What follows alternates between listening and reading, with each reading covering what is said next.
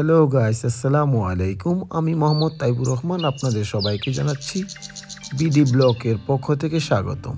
আশা করি আপনারা সবাই ভালো আছেন আমি আছি আল্লাহ রহমতে খুবই ভালো। আজকে আমি আপনাদেরকে দেখাবো শীতের সকাল। গ্রামে শীতের সকালে কীরকম দেখতে দেখায়? বাহারি রঙে সেজেছে যেন শীতের সকাল। আমরা অনেকেই শহরের যানজট আর কোলাহলের মাঝখানে হারিয়ে গেছি।